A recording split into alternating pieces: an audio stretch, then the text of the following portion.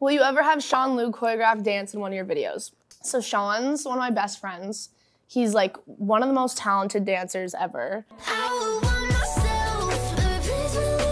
I talk to him about like concepts all the time. He like take him on drives. He listens to all my music. I would love for Sean to dance or choreograph in one of my videos one day. He is the most talented dancers I've ever met. Hell yeah.